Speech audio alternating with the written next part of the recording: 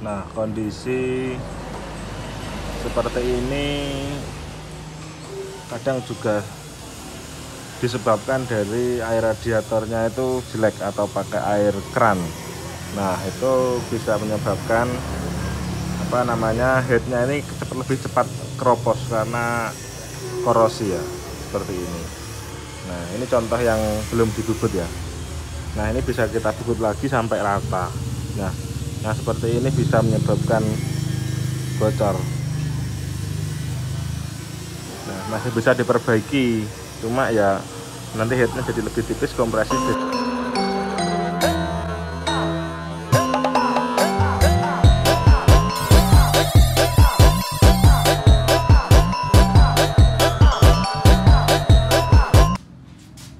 bubut head fiction kendala air radiator bocor atau rembes ke ruang bakar.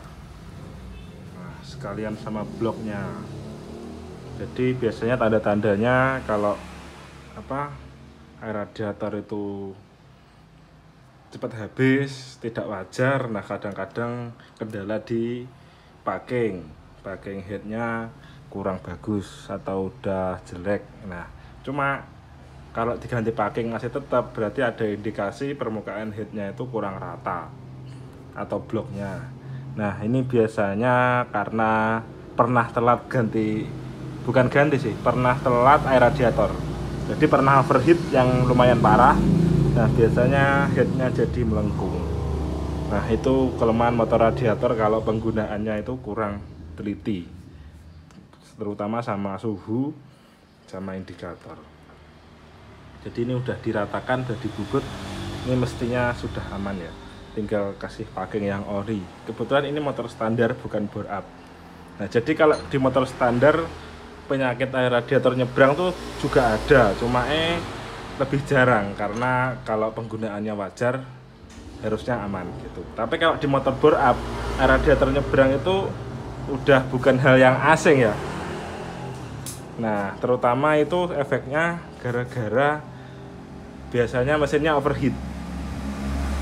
Dan temperatur mesin terlalu panas. Nah itu biasanya packing headnya kalah. Cuma kalau apa ya tetananya benar atau tetananya bisa maksimal nah itu juga aman untuk bore up. Jadi apa ya intinya kalau bore up aman atau enggak itu ya banyak faktor gitu.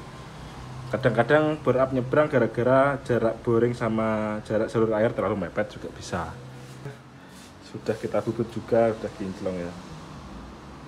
Nah ini kebetulan motor standar tapi air radiatornya nyebrang nyebrang bocor. Gitu. Nah jadi apa ya faktor overheat di motor standar itu kecil kalau motornya sehat. Tapi kalau di motor bore up itu faktornya banyak. Karena kalau bore up tuh ya semua tatanan mesin kan berubah. Jadi harus ditata ulang gitu. Kalau apalagi kalau ekstrim. Nah, melepas termostat itu bisa mengurangi panas mesin tapi itu tidak apa ya, tidak ampuh. Artinya itu cuma air radiator itu biar mengalir saat mesin dingin langsung mengalir ke radiator. Tapi kalau pakai termostat itu kalau temperaturnya belum 60 atau belum 80 air radiator itu belum bersirkulasi ke radiator kayak gitu. Nah, jadi itu fungsi termostat. Jadi apa ya? Nggak jaminan pakai termostat itu overheat nggak jaminan juga nggak pakai termostat anti overheat kayak gitu.